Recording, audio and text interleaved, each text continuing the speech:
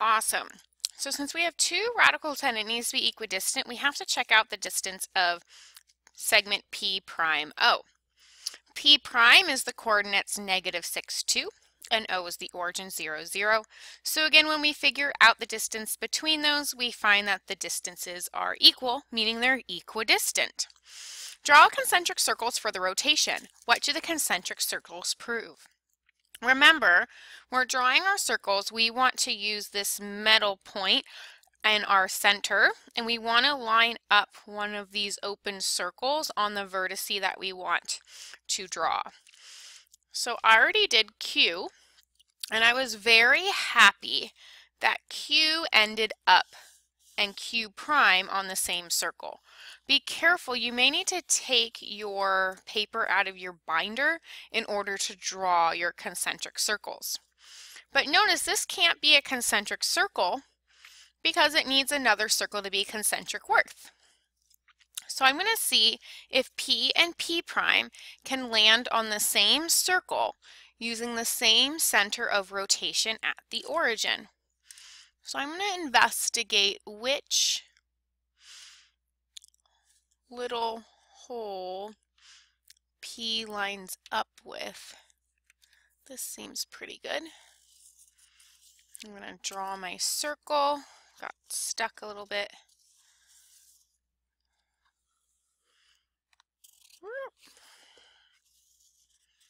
Now let's see how I did. That's wonderful. My red and green circles are both concentric circles because they share the same center which is the center of rotation, and corresponding vertices lie on the same circle. Remember, because of the definition of a circle, the set of all points that are equidistant from a center point, and if two points lie on the same circle, it means those two points are equidistant from our center of rotation. So what do the concentric circles prove? Our concentric circles prove that corresponding vertices are the same distance away from your center of rotation. So that means that in a rotation, corresponding vertices are equidistant from the center of rotation. Because they're concentric circles and share the same center, corresponding vertices are equidistant from the center of rotation. Wonderful.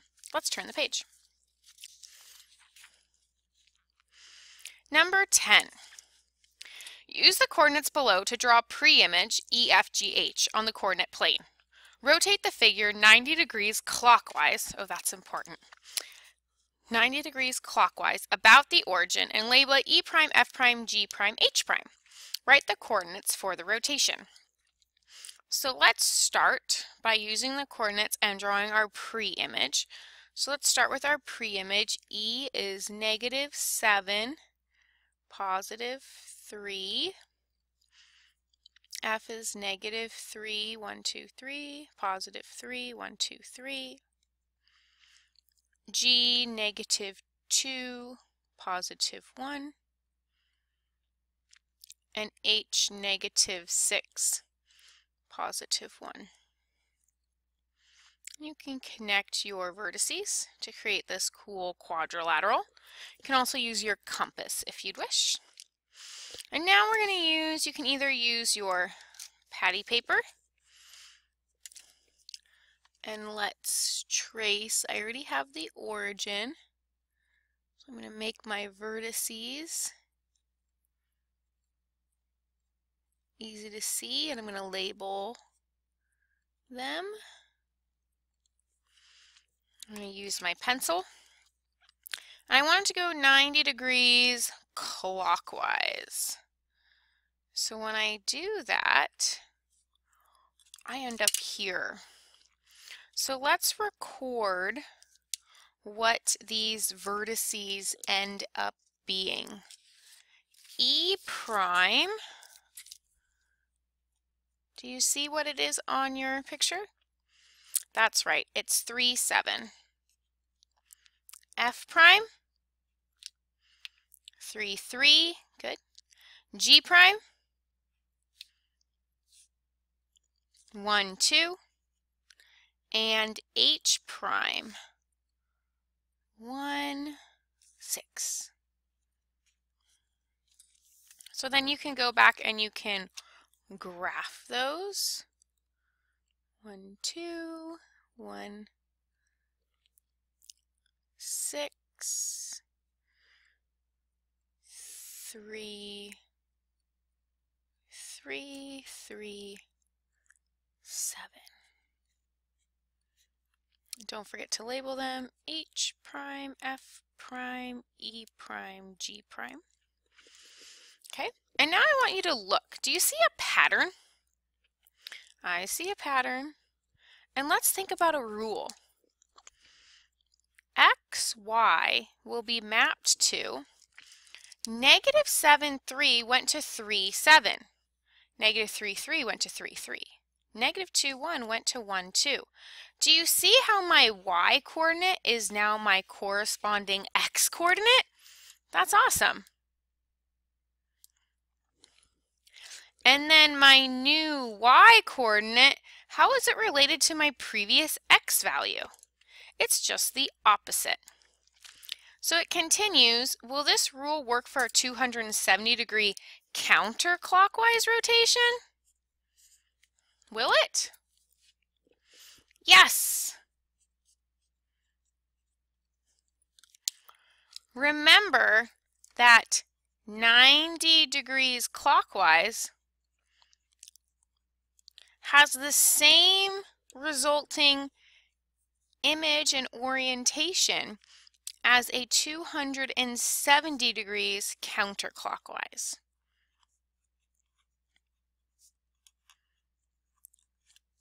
Okay, so let's go through these and let's do some more rotations starting always with our pre-image and continue doing some different types of rotations. The next one I want you to do is 180 degrees clockwise and label it E double prime, F double prime, G double prime, and H double prime. Quickly pause the video for one minute for students to finish their rotation.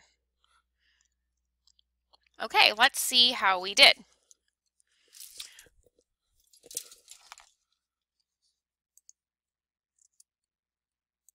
Did you end up with E double prime at 7, negative 3, and F double prime at 3, negative 3, and G double prime at 2, negative 1, and H double prime at 6, negative 1? Wonderful. And what did you notice was that rule? What did you notice is the coordinate rule that will hold true for all 180 degrees clockwise rotations?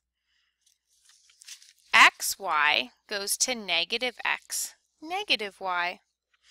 So if I rotate a figure 180 degrees clockwise, counterclockwise, will the coordinates for the rotation be the same as 180 degrees clockwise? Hmm, go 180 degrees one direction. Is it the same result as 180 degrees the other direction? Why, yes it is. 180 degrees, the direction does not affect the outcome, your image. So let's look again. Let's look at, we have one more type of transformation rotation we have to look at. And let's look at 270 degrees clockwise. We're going to starting at our pre-image and we want to go to E triple prime, F triple prime, G triple prime, H triple prime. Write your coordinates for the rotation. I'm going to give you one minute to finish your rotation and look at your coordinate rule. Please pause the video for just one minute. Wonderful. Let's take a look-see. E triple prime, F triple prime, G triple prime, and H triple prime. I'll read them. Negative 3, negative 7, negative 3, negative 3, negative 1, negative 2, and negative 1, negative 6. Our rule is xy gets mapped to negative yx. And yes, the 270 degrees clockwise is equal to a 90 degrees counterclockwise. We'll have the equal outcome. So what we're going to do now is we're going to make a little cheat sheet for ourselves. So we're going to make a little cheat sheet with ourselves in number 11.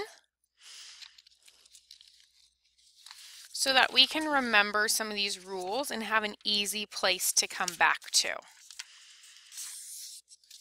So when we are looking at a 90 degree rotation clockwise, remember this is always going to be clockwise for our first column here. If we're looking at a 90 degree rotation clockwise, we're always going to start with x comma y. And x comma y is going to be mapped to what? x comma y, do you remember? Look up above. Yes, x comma y is mapped to y comma negative x. Excellent. And if you have a 180 degree rotation, 180 degree rotation clockwise, we're mapped to negative x comma negative y. 270 degree rotation clockwise, you get mapped to negative y comma x. And 360 rotation, that's right, it's just xy, back to where we started from. So you can use this as your cheat sheet. And now let's talk about if we're going counterclockwise. Counterclockwise 90 degrees is the same thing as going clockwise 270 degrees. So I know that my original x comma y, my original x comma y is going to end up being mapped to negative y comma x. 180 degrees, the direction does not make a difference. So we know that this will be mapped to negative x comma negative y. They're just both flipped. 270 degrees counterclockwise is the same thing as a 90 degree rotation clockwise. So this is going to be mapped to y comma negative x. And 360 degrees, the, again, the direction does not matter, y comma x. Take a moment and fill in those coordinates for me.